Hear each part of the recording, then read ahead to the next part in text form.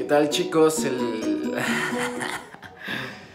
Hola, ¿cómo están? Mi nombre es Ultimi y el día de hoy hablaremos de la obra de teatro Lástima que no seas puta del autor John Ford.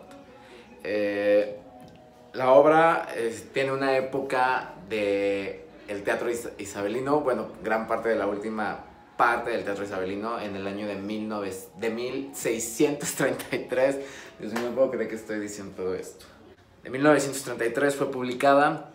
Eh, tiene un estilo de tragedia y el tema que aborda es el incesto, entre hermanos. Uh, los personajes principales son Giovanni y Anabel. Claramente hay muchísimos más que ayudan para que la historia se pueda contar, como lo son los tres pretendientes de la de Anabel, pero eh, vamos a centrarnos solo en Giovanni y Anabel como personajes principales. Eh, la estructura de la obra está en prosa, de una forma dialogada. O sea, estoy como muy, muy nervioso, ¿saben? Este, mm, el conflicto central eh, es cómo ellos se enfrentan como hermanos, dado que esta historia ocurre en 1900. En, dale con tus 1900. En 1633. Eh, en cómo llevar su amor, porque el autor lo plasma de una forma increíble, no, no tanto explícita, pero sí muy detallada de, esa pasión ferviente que tienen los personajes uno hacia el otro.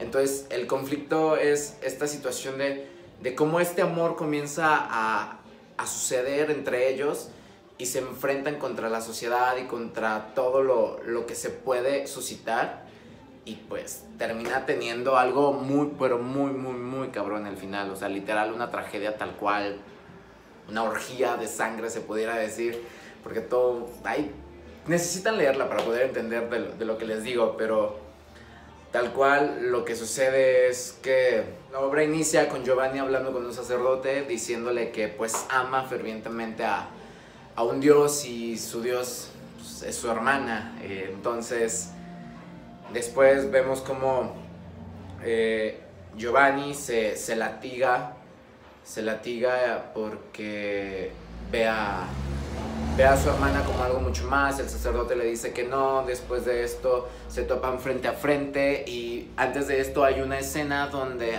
Anabel habla sobre los pretendientes que puede tener con una de su criada se pudiera decir o su, su nana, algo muy cercano a ella y vemos cómo hay una, hay una confrontación entre los hermanos y uno al otro le declara su amor. Esto es, esto es increíble porque vemos que Giovanni se está como mordiendo la lengua para poder decirlo, pero resulta que su hermana también, ¿no? Entonces comienza como esta situación de cómo se enfrentan a, a los demás conflictos de la sociedad. Después se descubre que, que Anabel está este, embarazada gracias a este amor, pero tiene que ocultarlo y quedar dentro de todo esto. Y pues resulta que, eh, ¿qué se pudiera decir? Resulta que, oh, fuck.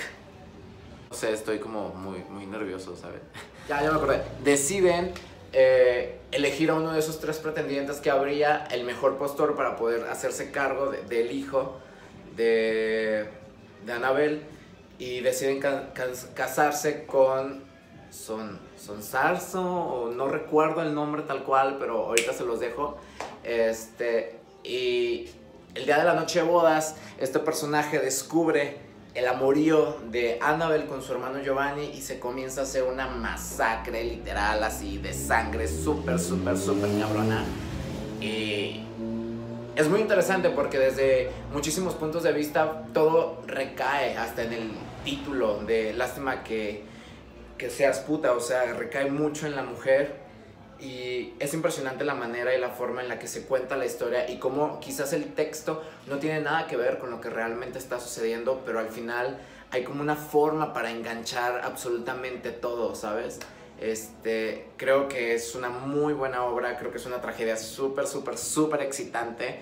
La verdad me gusta muchísimo. Yo cuando la comencé a leer fue como no puede ser, esto está increíble, lo necesito, necesito seguir continuando y, y la verdad yo puedo, yo puedo decir que desde mi punto de vista es una de las grandes tragedias y que está escrita con, por, por John Ford y pues que está increíble, así que dense la vuelta.